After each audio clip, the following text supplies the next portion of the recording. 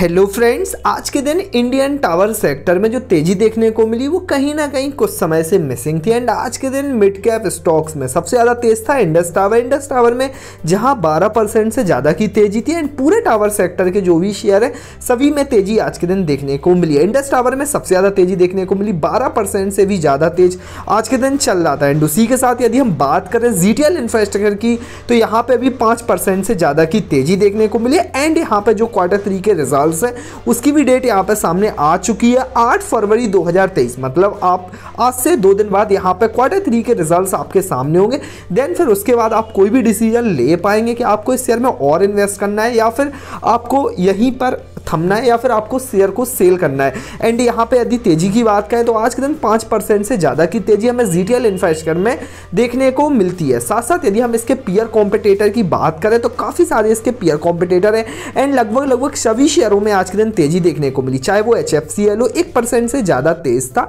And उसके साथ Indus tower तो सबसे ज़्यादा तेज इस सेक्टर का सबसे ज़्यादा तेज शेयर इंडस टावर आज के दिन देखने को मिला।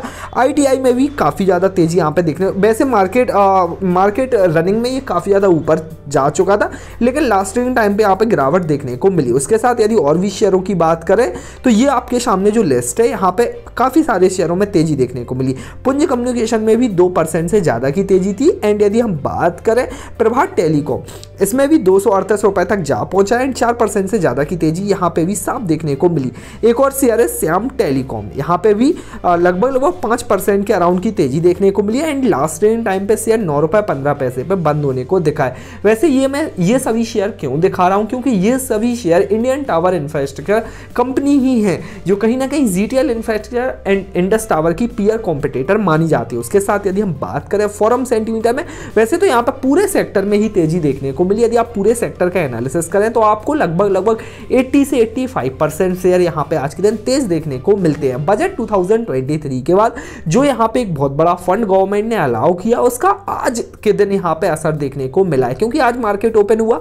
मंडे के दिन एंड इन सभी शेयरों में वो तेज़ी देखने को मिली। साथ साथ यदि हम फॉरम सेंटीमीटर में भी बात करें तो 64 परसेंट अभी ऐसे इन्वेस्टर हैं जो अभी बोल रहे हैं कि आपको जी इन्वेस्टर में इन्वेस्ट करके रखना चाहिए एंड उसी के साथ थर्टी ऐसे भी इन्वेस्टर हैं जो बोल रहे हैं कि आपको इस शेयर को सेल कर देना चाहिए। इसमें कुछ भी नहीं है।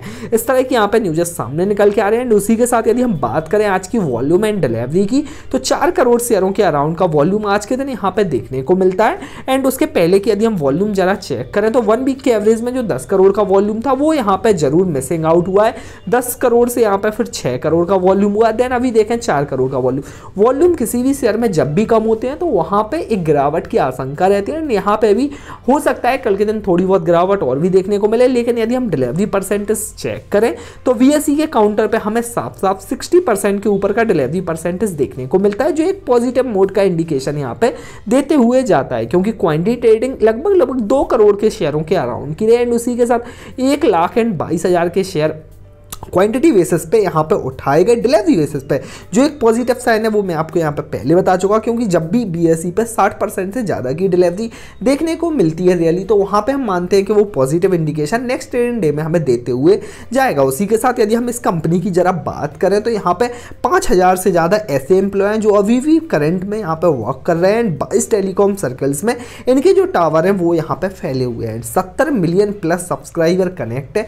ऐसे सत्तर मिलियन प्लस लोग हैं जो इन, इनके टावरों की सेवाएँ ले रहे हैं, जैसे आप एंड हम। क्योंकि क्या होता है, जो भी टेलीकॉम कंपनीज़ होती हैं, उनको टावर की ज़रूरत पड़ती है। एंड ये जो टावर बना के तो देते ही देते हैं साथ साथ रेंट पे भी देते हैं लीज पे भी देते हैं। तो इस तरह का इनका वर्क है, वो मैं आपको कई वीडियोज़ में और पहले भी बता चुका हूँ।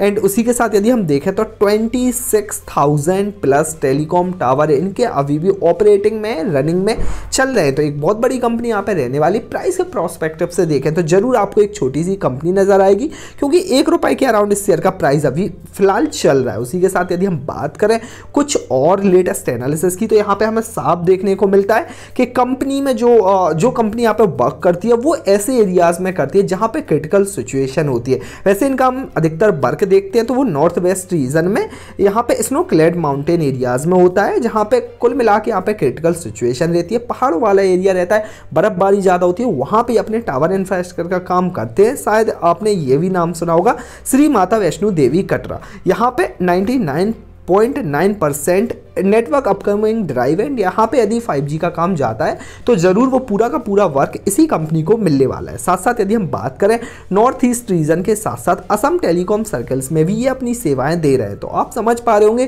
किस तरह का इनका वर्क है। इंडिया की बात करें तो पूरे इंडिया में यही एक ऐसी कंपनी है जो इन एरियाज़ में टावर इंफ्रास्ट्रक्चर का काम करती है। तो आप इसे मोनोपोली भी समझ सकते हैं। मोनोपोली में इसका काम है, केवल एक ही कंपनी इंडिया में ऐसी देखने को मिलती है, जो इस रीजन में काम करती है। टावर इंफ्रास्ट्रक्चर की मेनली अभी हम बात कर रहे हैं। वैसे इसकी एक और कंपनीज़ है जी टी एल लिमिटेड जो आपने नाम ज़रूर सुना होगा। जी टी एल लिमिटेड का काम है यहाँ पे जो भी इसके ऑपरेशनल वर्क होते हैं एंड उसमें जो भी सामान की ज़रूरत पड़ती है, कुल मिला के जो भी कलपुर्जे होते हैं, वो ये इन्हें सप्लाई करते हैं। G T L infrastructure mainly tower infrastructure का काम करती है। तो आपको समझना होगा, आप जिस कंपनी में इन्वेस्ट करने जा रहे हैं तो उसका आपको पूरा वर्क पता रहना चाहिए कंडीशन पता रहना चाहिए एंड अंदर के एम्प्लॉयज़ क्या काम करें कंपनी की बैलेंस शीट किस प्रकार से जा रही है। क्वार्टर थ्री के रिज़ल्ट के बाद हम एक और अच्छा डिस्कशन करेंगे हेल्दी डिस्कशन करेंगे, जिससे आपको पता चलेगा कि आपको इस कंपनी में इन्वेस्ट और करना चाहिए, क्योंकि लगातार कंपनी के लॉसेस हमें देखने को मिलते हैं। क्वार्टर वन क्वार्टर टू के रिजल्ट्स में हमें तीन तीन करोड़ के लॉसेस देखने को मिले। वैसे इस कंपनी के जो लॉसेस है, वो हमें लगातार 2018 के बाद से देखने को मिलते हैं, जबकि यहाँ पे टेलीकॉम क्राइसिस हुआ करते थे। उसके साथ यदि हम बात करें यहाँ पे डी की तो डोमेस्टिक इंस्टीट्यूशन इन्वेस्टर लगातार इस कंपनी के माल बेच रहे हैं। शेयर को यहाँ पे कम कर रहे क्योंकि डी के पास एक समय, सितंबर 2022 में काफ़ी बड़ा स्टेक रहा करता था 46.34 परसेंट का स्टेक आपको सामने देखने को मिलता है। लेकिन यदि आप लेटेस्ट क्वार्टर में देखें, दिसंबर 2022 में तो उनका वो स्टेक यहाँ पर 45.98 परसेंट का निकल के आता है, जो यहाँ पर पिछले स्टेक से लगातार कम देखने को मिलता है। क्योंकि यदि आप उसके पहले भी देखें, एक साल पहले की बात करें, दिसंबर 2021 तो इनके पास 51.72 परसेंट का स्टेक था। वहाँ से घटते घटते 45 परसेंट तक आ चुके हैं। तो आपको एक और बात समझनी होगी कि D domestic institution investor GTL infrastructure के शेयर बेच रहे हैं। तो यहाँ पर एक नेगेटिविटी का साइन तो है ही है। उसके साथ साथ आपको ये भी पता लगाना होगा, आखिरकार इस शेयर में, इस पर्टिकुलर कंपनी में डी के द्वारा बिकवाली क्यों हो रही है? यदि आपको रीजन पता पता है तो आप नीचे कमेंट बॉक्स में ज़रूर बताएँ। यदि नहीं पता है तो हमारे चैनल के साथ जुड़े रहें। चैनल के साथ जुड़े रहने के लिए सब्सक्राइब ज़रूर करें। वीडियो पसंद आए लाइक ज़रूर करें। हम मिलते हैं एक नेक्स्ट वीडियो में। लेटेस्ट इन्फॉर्मेशन के साथ।